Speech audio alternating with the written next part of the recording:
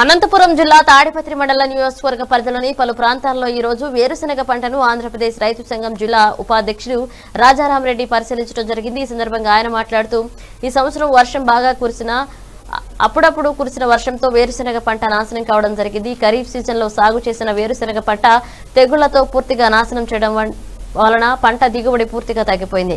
వేరుశెనగ పంటను మండల వ్యవసాయాధికారులు పరిశీలించి పంట నష్టాన్ని అంచనా వేసి నష్టపోయిన రైతులకు వెంటనే ఇరవై నాలుగు వేల రూపాయలు నష్టపరిహారం ఇవ్వాలని సోమవారం జేడీ కార్యాలయం ముందు నిరసన వ్యక్తం చేయడం జరుగుతుందని తెలిపారు. ఈ నిరసన కార్యక్రమంలో నియోజకవర్గ వ్యాప్తంగా ఉన్నటువంటి రైతులందరూ పాల్గొని ఈ కార్యక్రమాన్ని జయప్రదం చేయాలని ఆంధ్రప్రదేశ్ రైతు సంఘం కోరుతున్నారని తెలియజేశారు.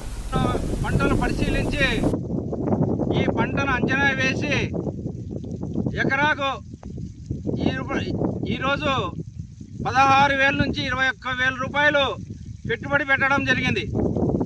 ఈ దిగుబడి ఈరోజు ఆశించే పరిస్థితి అయితే ఎకరాకు మూడు నాలుగు బస్తాల కన్నా ఎక్కువ అయ్యే పరిస్థితి లేదు. కావున వెంటనే వ్యవసాయ అధికారులు పరిశీలించి పంట నష్టాన్ని అంచనా వేయాలని కోరుతున్నాం.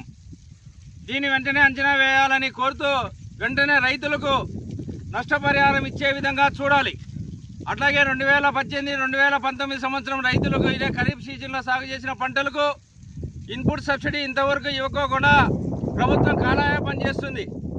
వీటిని వెంటనే నిరసనగా సోమవారం జేడీ కార్యాలయం ముందు ఆంధ్రప్రదేశ్ రైతు సంఘం ఆధ్వర్యంలో జరిగే జరిగే ధర్నా కార్యక్రమాన్ని మండలంలో ఉండే రైతులు వేరుశనగ సాగు చేసిన రైతులు ఈ ధర్నాలో కాల్- పాల్గొని జేడీ కార్యాలయం ముందు ధర్నా కార్యక్రమాన్ని జయప్రదం చేయాలని ఆంధ్రప్రదేశ్ రైతు సంఘం